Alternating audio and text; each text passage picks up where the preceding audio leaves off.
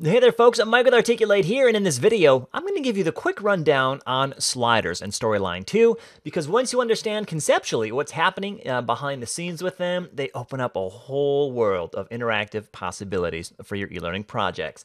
Now, adding a slider, very simple. I go to the Insert tab in Storyline 2, go to Controls, and I choose the type of slider I'd like to add, and by the way, you can always change it, not a problem. I simply click and drag, and I have a slider on my screen.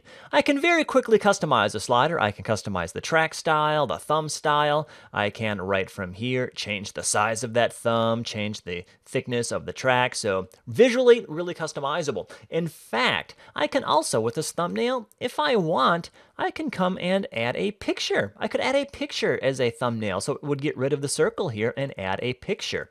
Uh, so maybe you've got a PNG file of a character that you want to move across the screen. Not a problem. Easy to do. Now, when you add a slider, to your project. I'm going to go to the Design tab. You'll see here a number of slider properties. There are some standard properties when you first add a slider. For example, it's going to have a range of 0 to 10. Well, what does that mean? It means that there are 1, 2, 3, 4, 5, 6, 7, 8, 9, 10 steps or stops on that slider. You can adjust that. Maybe you want 300 steps. Watch this, much smoother slide from left to right and right to left because now there are 300 stops in there. You'll also notice the initial value here changing. The initial or starting state is something I can also control. So maybe I want the starting state to be at 150. I can adjust it either down here on the slider itself or up here in the slider properties. Another very important concept to pay attention to is that when you add a slider to your project, a number variable is automatically going to be created and associated with your slider. So right now, up here in the upper left in the slider properties area, you'll see variable slider 1.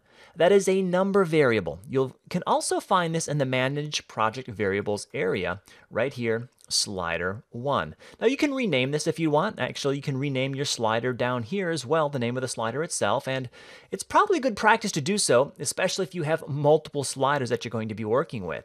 So maybe I do that here. Maybe this is special slider, we call it here. So that's my special slider, just to be able to keep track of our sliders. So those are the basics. Now, what does that mean? Well, check this out. What can I do with this, you might ask yourself? Well, I'm going to insert a text box, and I'm going to insert a reference to that number variable. And let's make that large so you can see it. There we go. We'll set it, we will set it right here. And watch this. What's happening since that number variable is associated with the slider? As I move the slider, which is in the zero spot, watch this as I go up to 300. Pay attention to this number variable reference that number variable is automatically being adjusted. That, in and of itself, right there, is a great thing to keep in mind because now I can adjust this number on the screen simply by using the slider. So when we start to think of infographics, when we want things to be changing on the screen, there's a simple way to do it. I simply use a reference to show the number that that slider is at. Pretty slick, right? Now, seeing as how we can adjust the number variable, keep in mind that it is a two-way street. I can insert a shape, so maybe I'm going to insert a button.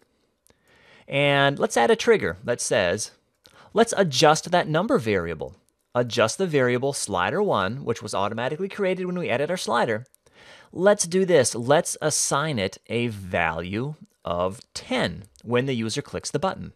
No, actually, let's do this. Let's make this 100 to make it more visible. So I'm going to adjust the number variable and watch what happens to the slider. It's a two-way street. So not only does the slider adjust the number variable, but I can also target that variable and cause a change in the slider as well. So cool concept to keep in mind here. Uh, maybe we do this. Maybe we do an increment. Let's add a value of 10 every time the user clicks the button. Let's watch the slider. Let's see what happens. 10, 20, 30, 40. Check that out. I'm clicking away and I'm adjusting the slider at the same time. So since this number variable is intricately and intimately associated and connected with the slider, we can really create some fun interactions when it comes to interactive infographics. All right, one other really big concept that I want to share with you here is the ability to attach or tie two sliders to one another. What I mean by that is this. I'm going to go ahead and add another slider to my screen here. Look at that. And let's give that one a different, maybe we could go here and give that a different color. Look at that. All right, pretty simple stuff. Now this one is going to also have a range. Let's make this a range of 0 to 300 just like the one that we originally created here, 0 to 300. Now you'll notice that there is another variable that's been created, slider 2, the new number variable which is associated with this second slider now that we just created. Well, here's the really great part. I can tell both of these sliders to be attached not to separate variables, but the same variable. So this variable, or this slider right here, is going to change this variable slider 1. And remember that the number variable can also adjust the slider that is associated with it? Well, if this slider is controlling the number variable which is attached to this slider, that means that as I move one slider, the other is also going to move. Look at that. So a lot of the cool techniques that we're going to be discussing uh, at Learning Solutions in terms of building interactive infographics really revolve around this concept that I can control one slider with another. So putting this all together, if I can control a slider with another and I can use, for example, this thumbnail and add my own picture, well, that gives me the ability then to really start to manipulate. I can add shapes, I can add uh, images here, and I can do a scrolling back and forth, and I can really have this entire slider hidden. Let me show you. Let's say that I come here and let me format the shape, or I can also, by the way, come right up to the Design tab or the Format tab, Thumb Fill, say Add a Picture, and maybe I've got an oil can here I'm going to add. I'll say no border on that thumbnail, no outline, make that nice and big. Look at that.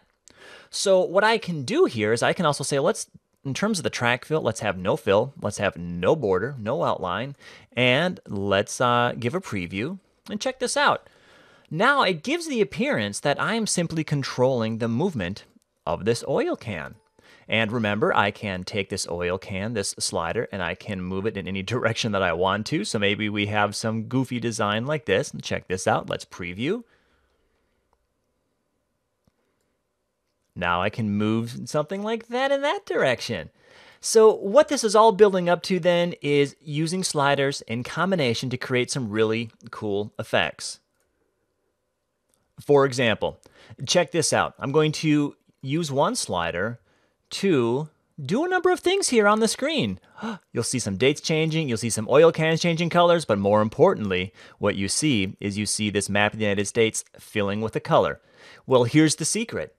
Behind this image here, that's this mask right here, I have another slider with a really big image attached to it. And all this is doing is moving up and down as I move the oil barrel. So you get a really cool effect simply by combining two sliders. So again, maybe that wasn't super quick, but I wanted to give you a quick overview of working with sliders here because there's really a lot that you can do when you understand the basic concepts behind them. And well, actually, let me do one last thing. Over here on the right, you'll see some triggers. We have the opportunity with the slider, since we have that number variable, to make things happen based upon what that slider is doing. So for example, right here, we're showing these oil barrels. Well, or we're showing this these layers. Show a layer, make something happen, make a motion path begin. Make something occur when the slider moves if that slider is equal to a certain number or it's higher or lower than a certain number.